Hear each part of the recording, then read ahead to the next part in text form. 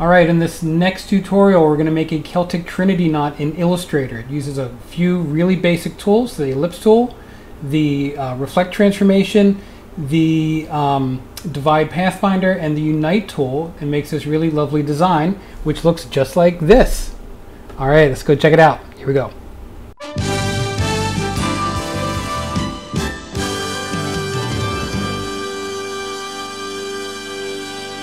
All right, so um, start a new document in Illustrator. It can be any size. I'm using 1920 by 1080. You can use letter size. It doesn't really matter. Most importantly, though, is go to the View menu and show the grid, and the View menu and snap to grid, and zoom in really close to one of these uh, major grid squares. Uh, we're going to start this off by using the ellipse tool um, what I don't want is I don't want to have a fill for this. It's going to make things really difficult once we start to divide things up with the uh, Pathfinder.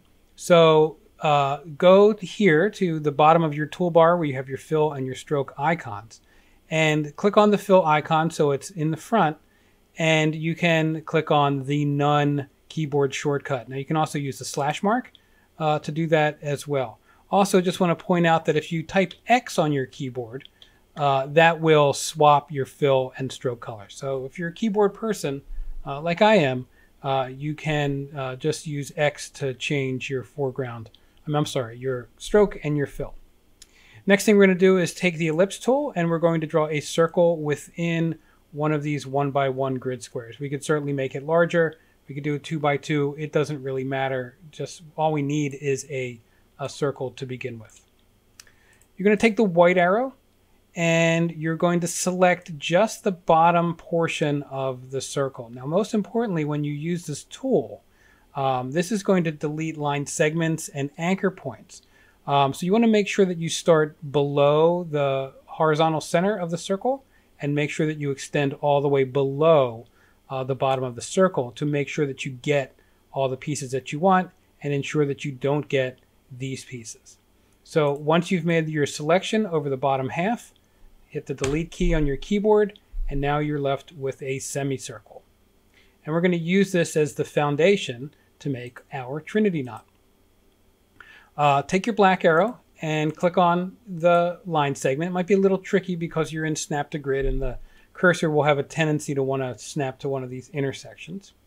And then what I'd like you to do is go to your reflect tool uh, and the reflect tool is usually associated with the rotate tool, so that's where mine is. And you can also see that it has the keyboard shortcut of O.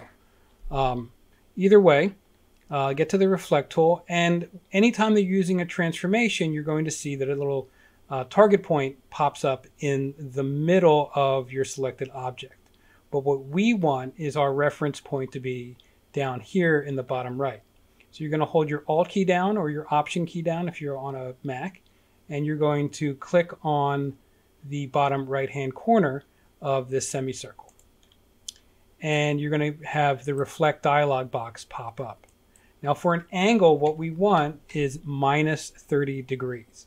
And what that's going to do is it's going to reflect this along a 30 degree angle that's essentially going in this direction.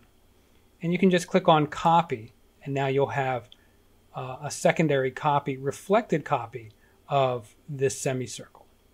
Now we're going to repeat the steps that we just did by going from the left-hand side of this. So you're going to select the original semicircle.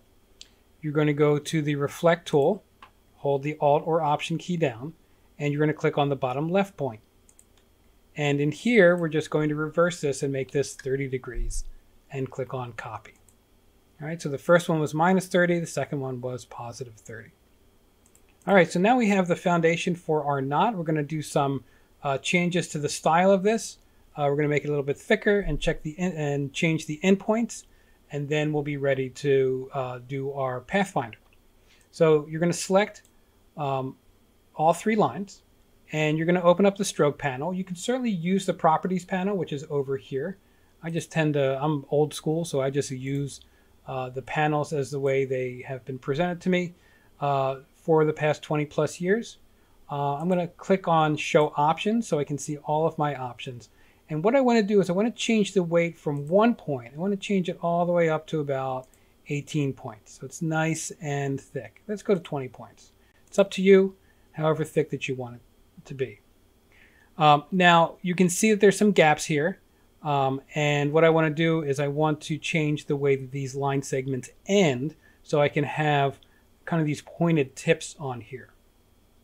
Now in the stroke panel, you're going to see there's three types of caps. You have the butt cap, which is uh, the way it's ending right here, where it just really ends at that point. You have a rounded cap, uh, which will create a round here, and it'll also make our where this joins rounded. But what I want is a sharper join. So we're going to use the projecting cap, and then we're going to do some deleting after we're done uh, with the Pathfinder to make these nice sharp corners. So you're going to choose the projecting cap here.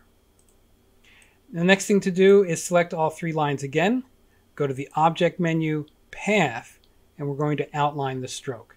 And what that does is takes away the thickness of the line and then creates just a Illustrator shape from that thickness. So I'm going to click on outline stroke and now you're going to see that I no longer have the path that's in the middle of these points, but I have a shape that's outlining the that thickness of that line.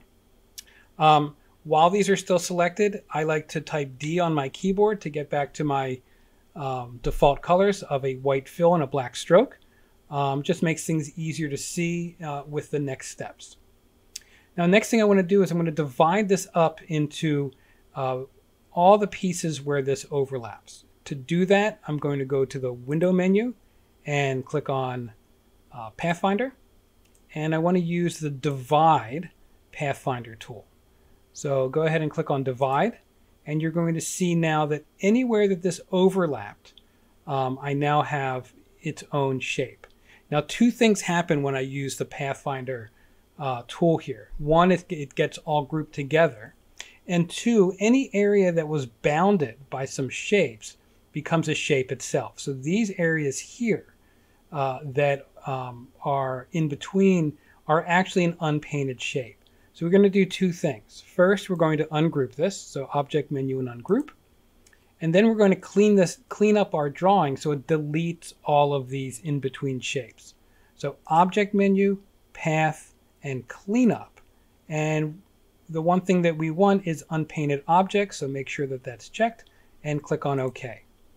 And you won't see a difference on the screen, but what you will see here on your toolbar is that now everything's selected, just it has the white fill and the black stroke.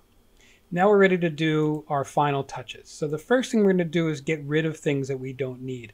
And that's all these points here that uh, go beyond our actual path. So these little triangles um, at each corner you can delete. So I'm just selecting these. I'm holding my shift key down to select more than one at a time and select these two and delete. And now I'm ready to put the whole thing together. And for this, I'm going to use the Unite Pathfinder tool. Uh, and what I want to do is I want to unite this piece to this intersection here, to this piece here, to this intersection, and this following strand. So one, two, three, I'm holding my shift key down, four and five, right? So these five and unite. And then I'm going to go to the right hand side. This piece, two, holding my shift key down, three, four, and five, and unite. And then one, two, three, four, five, and unite. And there you have it, your Trinity knot. Um, and uh, I hope you've enjoyed this. Please like and subscribe, and we'll see you on the next video. Nick the Punkfish, out.